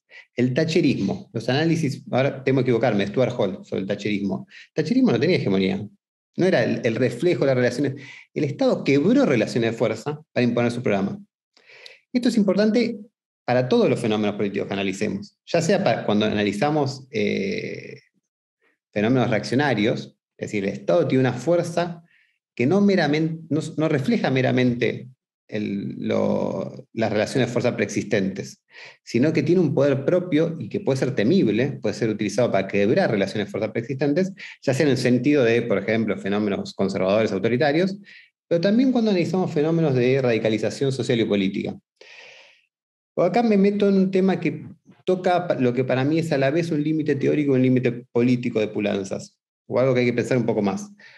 Pulanzas le pone un límite muy estricto a la autonomía, finalmente. Es un pensador de la autonomía del Estado, pero pone límites eh, muy estrictos. En el debate con Miliband eso se nota. Por ejemplo, para Miliband se puede hablar de autonomía del Estado si uno establece que hay un poder del Estado que es irreductible al poder de clase, que tiene un poder propio. Para Pulanzas esto, es esto no es así. Para el primer Pulanzas, esa autonomía es el mecanismo funcional que le permite a la clase dominante garantizar su dominación. Entonces hay una invariante que es la reproducción del capital, muy funcionalista ese razonamiento. Y el último, la autonomía es una especie de resultado emergente de las contradicciones entre las clases, pero nunca tiene un poder propio. Acá Pulanza eh, puede volverse un poco confuso esto, pero se clarifica si se entiende con qué está discutiendo. Está discutiendo sobre todo con una concepción que considera que tiene muchos teóricos, los teóricos más bien estatistas o neostatistas, que consideran que el poder del Estado tal vez es el poder fundamental de, en las sociedades burguesas, que hay clases, hay clases dominantes, pero el Estado se puede sobreponer a ellas y es lo que Pulanza se identifica con la concepción del Estado como sujeto.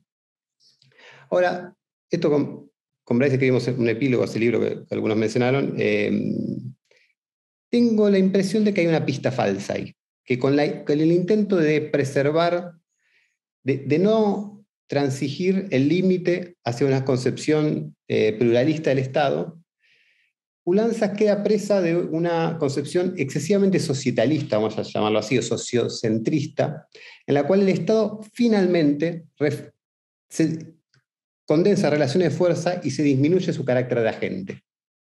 Esto puede ser paradójico, puede haber hablado un rato largo sobre el concepto del estado de, Pulanzas, pero puede ser que tenga algunos límites el concepto del estado de Pulanzas y puede ser que esos límites impacten en la estrategia. Porque si uno considera que en lo esencial el Estado va a reproducir relaciones de fuerza eh, sociales, bueno, la disputa estratégica por el control de la dirección del Estado se tiende a disminuir. Entonces, por eso, por ejemplo, para Pulanzas, em, eh, la, estrategia es una especie de combinación entre conducción reformista de izquierda y una presión movimentista por abajo. Pero, por ejemplo, voy a tomar dos casos clásicos, uno viejo y uno nuevo. La revolución de 1918 en, en, Alemania, un proceso revolucionario, insurreccional, impacto de la revolución rusa, la socialdemocracia toma el gobierno y termina asesinando a Rosa Luxemburgo y a Liebknecht eh, como parte de la forma de, suprimir el levantamiento espartaquista. ¿Hay que faltó presión social por abajo sobre el gobierno de Eber? O, o, de lo que se trata es que la socialdemocracia utilizó como un instrumento contrarrevolucionario el poder propio del cual dispone el Estado en la medida que es Estado. Es decir, hasta que no lo destruyas tiene un poder propio y se puede utilizar en un sentido u otro. Por eso yo en el debate Miliban Pulanza soy más milibandiano, no, existe la expresión, pero bueno, eh, en el sentido de que el poder de clase y el poder de Estado son poderes irreductibles. O sea, no, no hay una reducción de uno a otro. Y hay que ver cómo formular eso sin caer en una concepción neostatista. Pero bueno, no sé si se entiende este punto, pero estoy yendo un poco rápido de lo teórico a lo estratégico. Eh, menciono otras cuestiones. Sobre Bolivia, hubo, dos preguntas sobre Bolivia. El, a ver, García Linera, vicepresidente de Bolivia, además hace como una especie, una especie no, hace una reapropiación eh, personal de la teoría de pulanzas y formula una estrategia muy pulanciana, eh, donde una de las cosas que dice que hay que combinar lo que él llama el momento gramsciano y el momento jacobino, ¿no? y que el, momento, el momento leninista, perdón, o jacobino, digamos, eh, es decir, el construir consenso, avances de posiciones y luego una prueba de fuerza. Y él identifica no la prueba de fuerza con la toma, el acceso al gobierno, considera el acceso al gobierno puede ser electoral, pero la prueba de fuerza se pone, se pone a prueba, perdón la redundancia, en cómo se reacciona las clases, ante el asedio de las clases dominantes. Yo consideraría, y esto quienes leyeron en la entrevista que se hizo mención fue parte del debate, que eh, el proceso boliviano hubiese llevado a cabo exitosamente una estrategia pulanciana si hubiese estado preparado para responder a la reacción de las clases dominantes en el golpe de 2019, con una prueba de fuerza, no, no llamando a los militares a la lealtad, al régimen constitucional. Si eso hubiese sucedido, uno diría, bueno, un acceso electoral al gobierno genera después de muchos años una reacción por parte de la burguesía, golpista, y cuando eso se genera, ahí se tiene la capacidad suficiente como para responder a esa, esa reacción con una prueba de fuerza. No se tuvo. Hay un balance que hacer de eso. Un balance que queda opacado por el desenlace bastante positivo, que es que un año después se derrota el golpe, se derrota por vía electoral, pero está planteado el mismo problema. Yo no sé los compañeros que, bolivianos que están presentes cómo piensan esto. La, hostilidad de la clase dominante respecto al gobierno de, ahora de Arce, un gobierno, llamémoslo así, reformista de base campesino-indígena, va a seguir presente. ¿Cómo la expectativa es que las fuerzas militares sigan siendo leales. Bueno, yo creo que ahí hay un punto incompleto y que tiene que ver con que el, el, proceso no va hasta el final en su ruptura con la burguesía. ¿no? Y ahí, bueno, hay un debate con, con, Linera. García Linera considera que la estatización tiene que ser muy parcial, llegar a niveles, o sea, que el, ámbito del mercado tiene que ser muy grande. Y eso para mí es indistinguible con mantener a la clase dominante, a la burguesía como clase económicamente dominante y si eso sucede, en algún momento eso se expresa políticamente por medio de una reacción. Pero bueno, estoy yendo un poco rápido. Eh, respecto, bueno, el, otro caso, el de Chile, yo, a ver, una cosa, voy a decir una cosa muy elemental. no podemos subestimar los avances democráticos en, eh, dentro de un Estado capitalista. O sea, la autonomía tiene límites. Mientras la burguesía esté ahí, todo está amenazado. Pero no, eh, preguntémosle a los compañeros chilenos o las compañeras chilenas si no es, fue importante sacarse encima el corset que significaba la constitución heredada de Pinochet. Hay, hay, un cambio de régimen político. Lo mismo que podríamos decir si un régimen fascista, un régimen, una dictadura militar respecto a una democracia liberal convencional. Bueno, no podemos subestimar eso. No subestimar eso no significa que haya una ilusión constitucional, es decir, la constitución te resuelve los problemas de un régimen social. Bueno, no. Y ahora vamos a ver cómo corre, cómo camina el gobierno de Boric, un gobierno socialdemócrata moderado y la constituyente, bueno, hay todo un camino. Pero es un avance. Tal vez es muy elemental lo que estoy diciendo, pero hay un punto donde eso es lo que se puede decir, me parece. Em, esperen que soy muy desordenado en las respuestas. Eh, bueno, no, eso tal vez ratificar un poco lo que dijo Bryce respecto al Estado en la globalización. Efectivamente, hay, hay como dos niveles en, en, todo esto. Hay un punto donde la teoría de Pulanza, Milliman, de todos esos autores, es una teoría históricamente situada. Es decir, en parte responde al estado de bienestar keynesiano. Hay otro momento donde es una teoría general sobre el Estado. Y yo creo que fundamentalmente es esto segundo, y por lo tanto sobrevive a, sus condiciones de emergencia. o sea, los avances de Pulanzas o, de otros autores en los años 70, analizando la naturaleza del Estado capitalista, se aplica.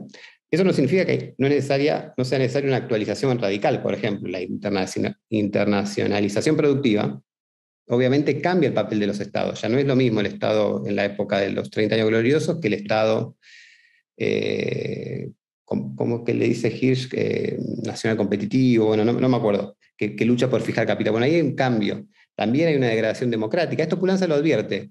Ojo, acá no, hace falta hacer eh, culto a la personalidad, pero Pulanza, una de sus tesis es que la forma de gobierno normal, no llegamos a abordar esto, o sea, no un régimen de excepción tipo el fascismo, sino la forma de gobierno normal va a ser el estatismo autoritario, es decir, una tendencia a vaciamiento de la sustancia democrática de la democracia representativa.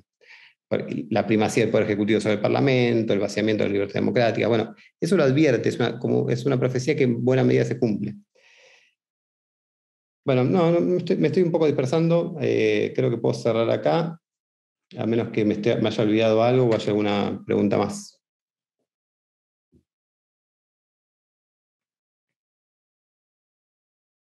Ah, había, aprovecho que, nos queda un ratito y había una pregunta de un compañero que, siempre aclara que no tiene micrófono, creo que era de él, respecto al tema, ¿por qué no, no hablar de reflejo en, relación a las, eh, a las correlaciones de fuerzas sociales?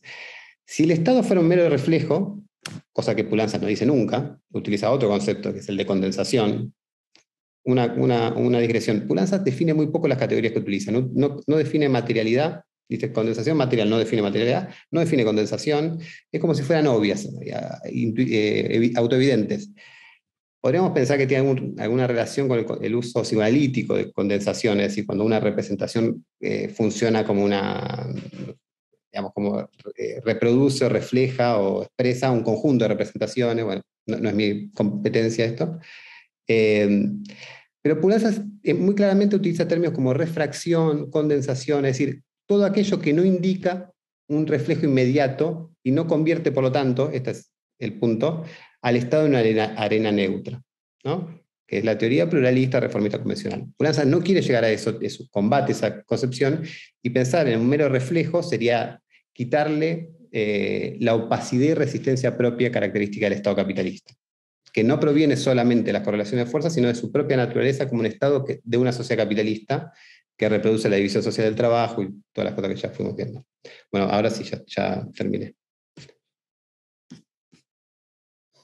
Bryce, no sé si vos querés agregar algo, si no estamos, bien de tiempo, pero no hace falta eh, extenderlo. todo, todo bien, si no hay ninguna pregunta más o alguna aportación, yo creo que podemos ir cerrando, ¿no?